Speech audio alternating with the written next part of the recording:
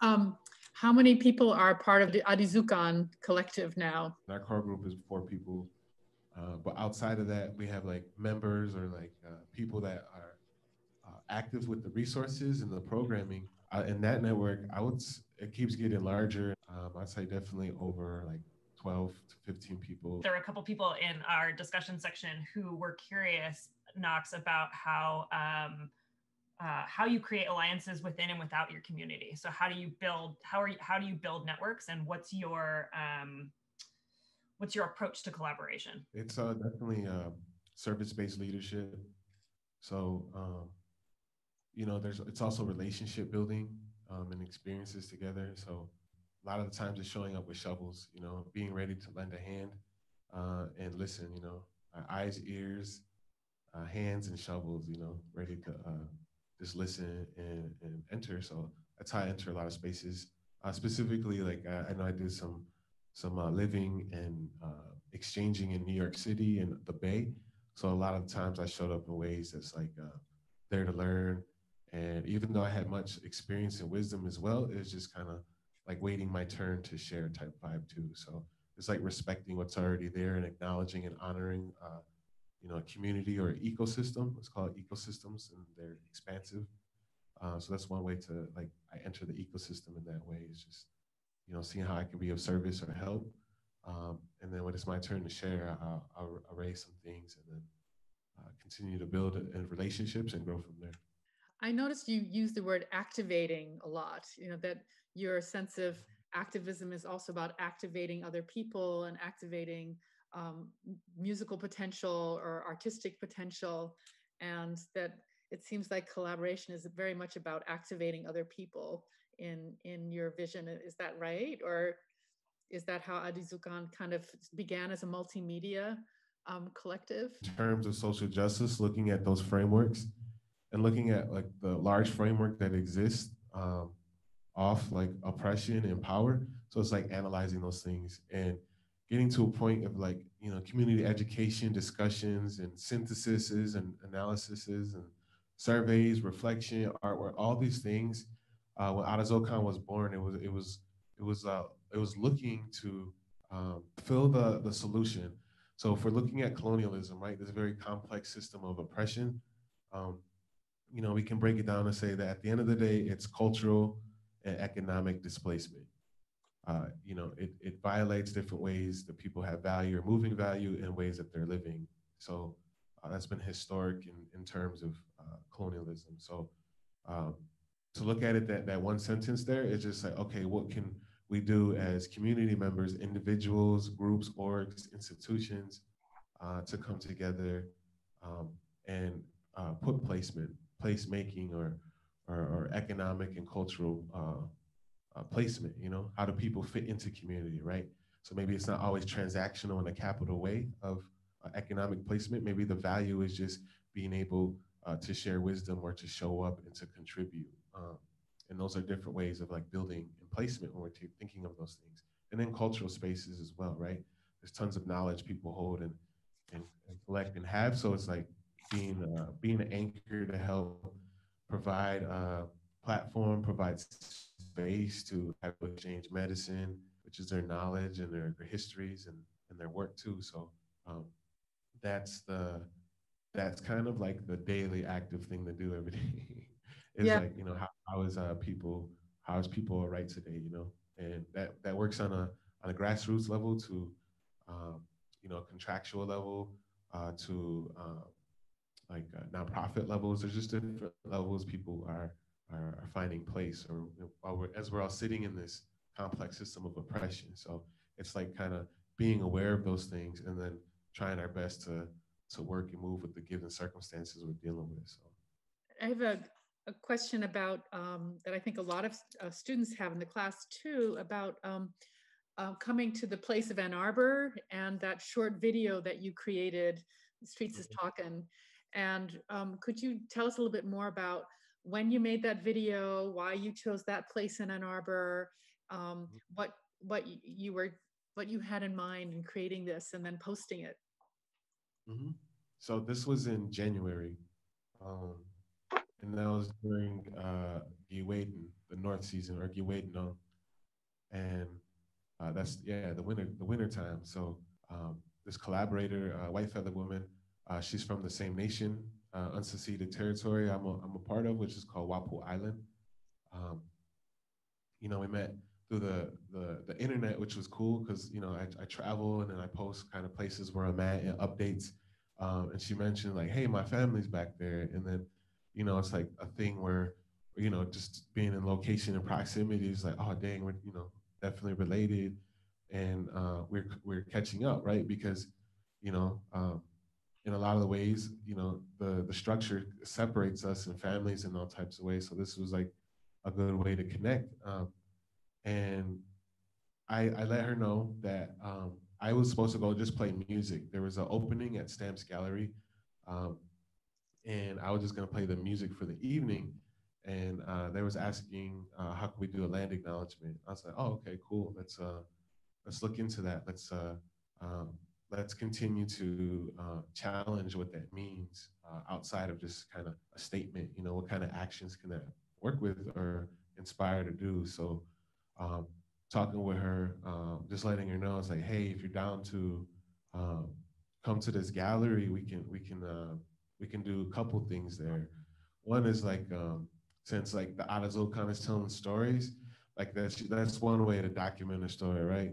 You know, Knoxx comes in, drops some beats, um, highlight you know the uh, the mission of the the gallery and the the space that was made uh, that was beautiful that night, and then kind of uh, document that but we've been looking at ideas of uh, expanded, like expanded stories, like what's the expansion of that in the different well realms or ideas that it sits in, and um, and dealing with her, there's like a cooperation there, right? So she's working as an artist in Canada and doing um, different sets of cultural work like that, uh, traditional, contemporary cultural work. So I was like, oh, cool, let's let's take some photos uh, to help, you know, to help kind of uh, give a vibe or a presence of what you're doing um, and then just kind of snap that. And then it's like, okay, let's look at um, uh, the treaty area, what sits on that land area. So, you know, honoring that and putting that up there, the, the treaty land that is there. And uh, also like just like disrupting or not disrupting, but filling the the space, right? Like of um, like forgotten natives or this uh, this this erasure that happens. So like just being able to put uh, a matriarch, uh, jingle dress, dancer, and a medicine dress on the land, which is part story of picture, which is part story of cooperation, and which is also parts healing, right?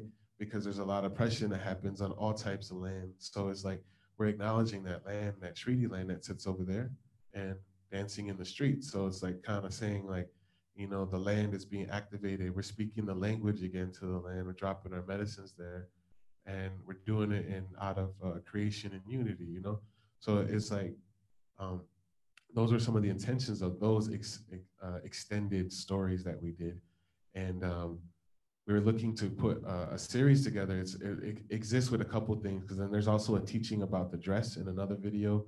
Um, there's also raw footage of documentation of that day. And then there's like a photo gallery of the pictures. Um, so yeah, so the, those elements into that expire that, and we love telling stories um, in very like uh, ways, um, and and with the music we make. So it was just kind of that too, like continuing to push that music and that that, that vibe in there. So yeah, thanks so much for this. This is this is awesome. Um, uh, Alexander is wondering. As a rapper, how do you come up with lyrics that can deliver your intended message, flow naturally, and rhyme? And I guess I would like to add to that um, what is the significance of hip hop for you? Because it seems like in a lot of your projects, sort of hip hop has this really central place. Um, so yeah, that's the, that's one question. Okay, I thought I heard like four questions. we'll start with the first one, I think, and it was like technique things, right? Yeah. Uh, yeah. So, um, like, how do you come up with lyrics that deliver your intended message, flow naturally, and rhyme? That's that's like um, there's all types of ways for that. Like sometimes it's just eating a salad and ha- drinking ginger tea and getting my thoughts in a portion. But okay, this one needs to be said. Sometimes it's moments where it's like you raged out, uh, you got the righteous rage going on, and you're trying to figure things out. So things get written down in a list. Um, I make a lot of lists, and uh, one thing I do is like I imagine it how it looks as a visual, as a visual or a short film or something, and then I work backwards from that. Um, and then like emotion is important, like transferring emotion. That's where the lyrics come from, the emotion. So it's like really honing in on that and understanding like that emotion, like it sounds when you're trying to sleep and the thunder cracks outside your window and you wake up and you're naked and you're nervous your house is getting shot up. So it's like what does that sound like? You know what i mean? So it's like that's also a process to make lyrics too. Um, and the second question was um, why hip-hop right? Right right. Oh yeah. Well hip, that's the dna of the hood. That's like hood music and i'm in the hood so it's like it's kind of like the the indigenous sound of the streets in the in the inner city. So it's kind of like um, that was that was where I, I fit really well. and I grew up listening to Queen because my mother listened to a lot of stuff from the 80s. So I was listening to that stuff, but Queen stood out. Um, so I, I, really like how Queen layered their sequences and portions. So that's really reflective in my hip hop music too. It's like hip hop music is very loopish, loopy. Uh, mine sits in uh, small sets of loops um, continuation. So yeah, that's the uh, that's the main reason. But I, I, mix. I like mixing the, the the tech the tech sound, the electronic sounds, and then like the indigenous drums and shakers and rattles and sounds, um, and like techno. Right, and techno was born in Detroit, so it's like got all this like vibe and sound of, of Detroit and hip hop and um, and yeah, just making that that that texture of the city and bringing my texture of like the indigeneity and Anishinaabe uh, vibe and architecting it that way. So. Thank you. Does one of the other section leaders want to ask, a, pass along a question? Raya? Yeah, um, this is more of a question that came up during section yesterday, and I, I figured, or a couple of questions that came up during section yesterday, and I figured I would kind of make a hybrid question out of them. Um, thank you so much, Knoxx, first of all, uh, for, for everything. Uh, but the question I have is, um, we were talking a lot about rematriation in class yesterday. Um, and I think one of the questions that came up was one, what did it mean in the video that you did in Ann Arbor and how like, how do we understand that act as an act of rematriation? Um, and also like, who for me that's also a question of audience like what is what is happening right? Who you're speaking to. Uh, so i think that's like one chunk of the question. And then the other part is um, students were also asking around you know what do we do? What do we do for us as students listening to this what does rematriation or taking responsibility look like for us um, and one of the answers that came up was, well, we, we got to talk to indigenous community about this. We got to talk to the people whose land this is. But I would love to hear more from you on, on your thoughts on this. And thank you again. I might need your help uh, to, to reference those. um, the first portion was like, what's rematriation, correct? Yeah, what's rematriation, and specifically when you did it in the in Ann Arbor or in the series uh, in general, which I, I think you called All My Relations, right? Mm-hmm. Yeah. Um, so that's so it's like a play. It's like a hip hop spin off of repatriation, right? That's like a, a political act of returning things. Um, so with rematriation, it's kind of it's it's it's that flip, that hip hop flip, right? So it's also like saying like, um, like, you know, pa- patriarchy and that, that that type of stuff is done too. Um, so with that play and that flip, it's also there's also uh, deeper things with that, and it's like return like returning things, right? So what that means is like the Earth is the Earth okay, and probably 100% of the time it, it isn't okay because of how we're uh, living collectively with it. So to to to rematriate is to help return that Earth, that Earth with itself, this Mother Earth, right? So it's like to look at in that that context, that that dialectical context, right? Um, in, the, in that type of framework, it's dialectically said in terms of power and, and moving things, right? And then um, uh, I think what you're also speaking to is like why um, was it why Ann Arbor? Why was it there? Is that what you're saying? Um, it was yeah, it was a question of audience too, Oh, like who who you're speaking to when you're talking about rematriation. hmm A lot of the times, it's like when we look at that circle, right? When I mentioned earlier, this idea of circles, like the core, the members, the cousins, the constituency. That's other terms to describe it in, you know, uh, organizing or leadership terms.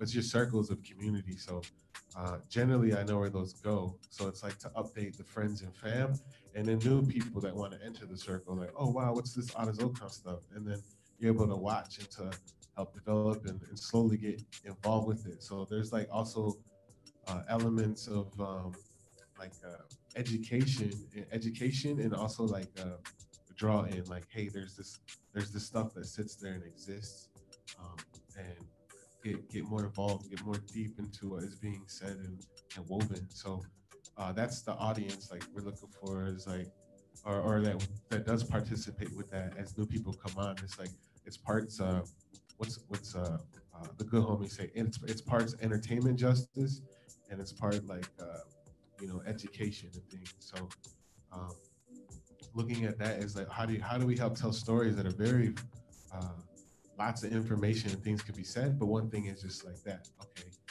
um, rematriate the land. Like okay, let's let's begin that. Let's so it's that combo. Let's talk there, and then like okay, let's develop. Let's let's build. Let's um, seek guidance. Let's seek coalition. Seek uh, cooperation, and then like making actions from there. So it's like there's small things that can be built. So it's like as the artist and where I sit in movement work, a lot of the times I help movement build. So that movement building works through the artwork. So like I uh, I sit in meetings, I sit in organizing circles, and I listen to needs and things that are being uh, concerned about, and then that's what it's also inspires the work too. So it's also part uh, part we are. I think I mentioned this earlier. Potentially like we and me, like uh, it's part. It's uh, it's I'm the vessel, or I'm my my my signature is with it.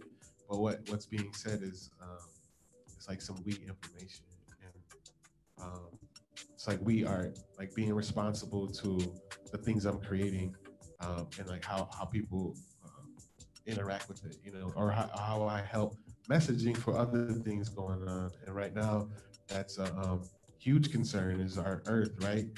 Um, outside like uh, different political campaigns, like the overall thing is like that is important.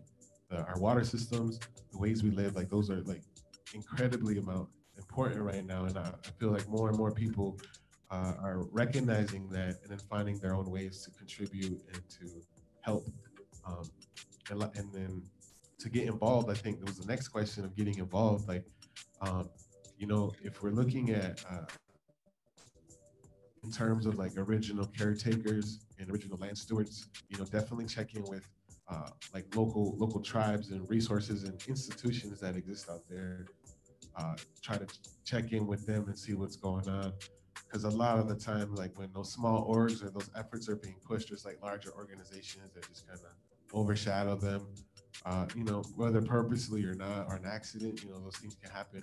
So it's like checking in first with like your local stewardship, your local land defenders, your local land workers, um, and that's usually like a tribe or like a nation that sits around there. So, um, and then you can begin your thread, right? So if we're in the, U- the University of Michigan, it's like, what's the next resource? It's like, oh, maybe the Indigenous Studies program or department.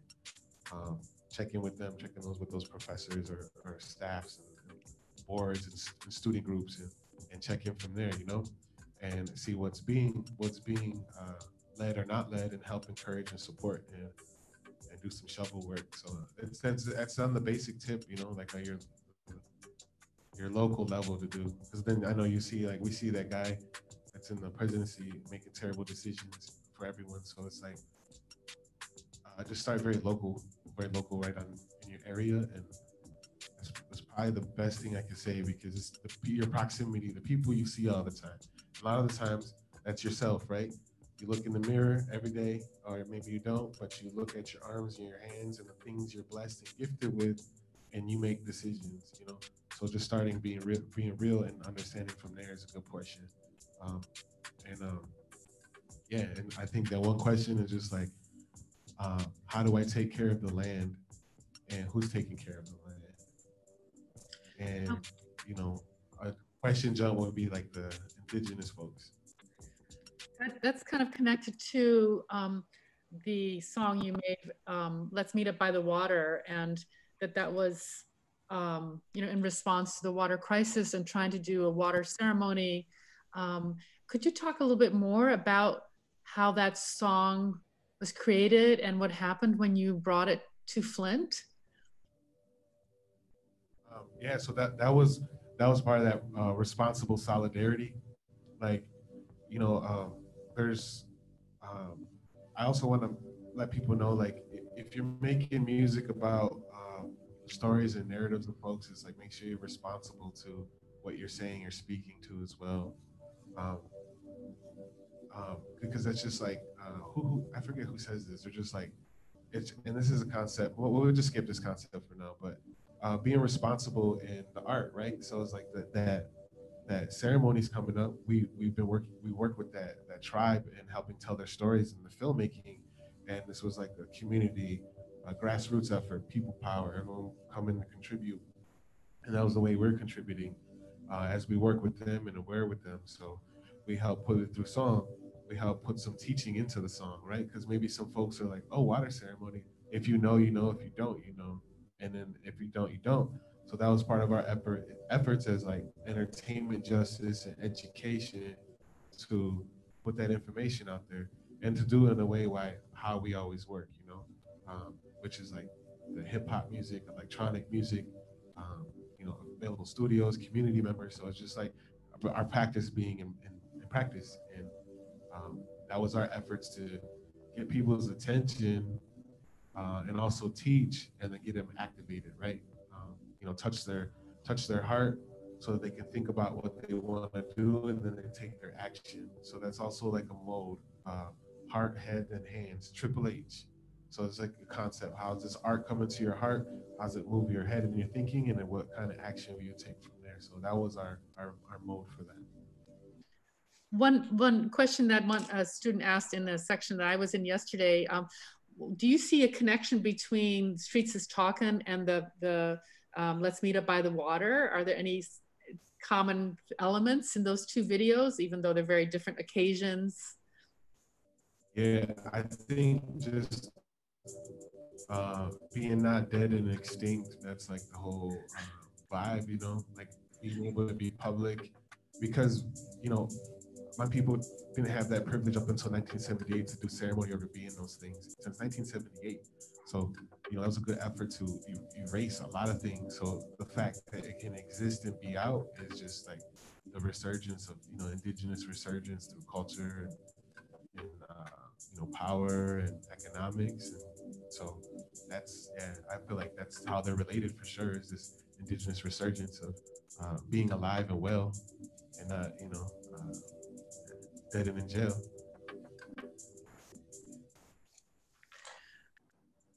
Other questions? Section leaders?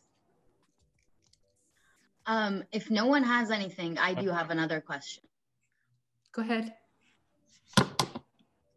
Um, my question is you um, you talk about the local uh, Knoxx and focusing on the local, which I think is really important. But I think in some of the videos we've watched um, uh, with you over the week, you've also kind of tried to connect it on the global level. And I do feel like there are a lot of the issues you talk about are not really specific to the US anymore. And so I, I wonder if you could talk a little bit on how you, you think on the local, global level, if you do at all.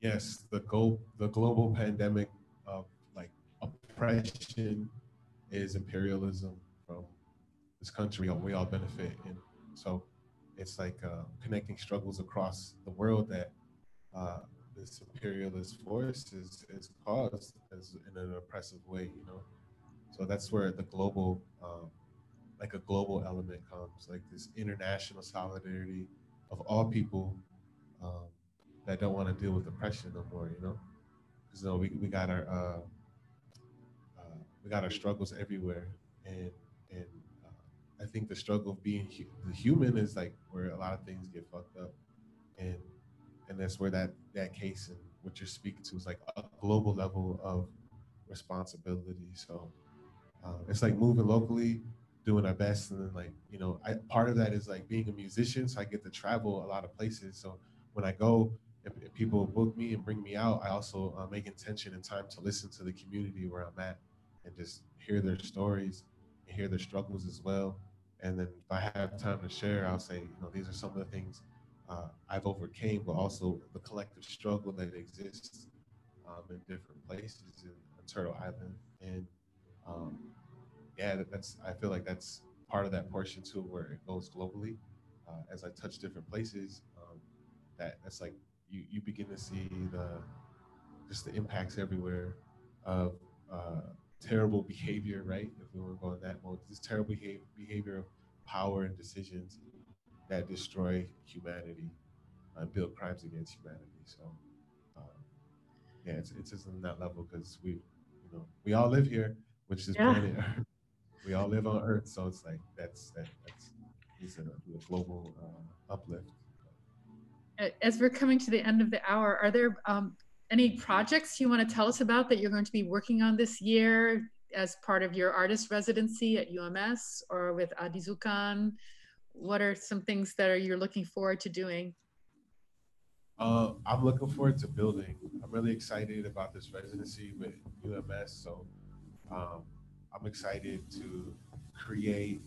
And uh, I talked with Maddie about this. It's just like the it's not you know the, the mode in which it operated is different right now so it's like with these given uh, borders or limitations like that breeds more creativity right so i'm just really excited for the creativity to be uh, built in these next couple of semesters and uh, with this program to build a project a very beautiful project that uh, revolves around let's call it earth science and math and which is moon the moon phases. So really looking at studying the moon phases, being connected with it differently, and understanding that and the ways in which it affects the water in our bodies and our timing. So that is going to be a good moment to uh, basically make some music with the moon. So.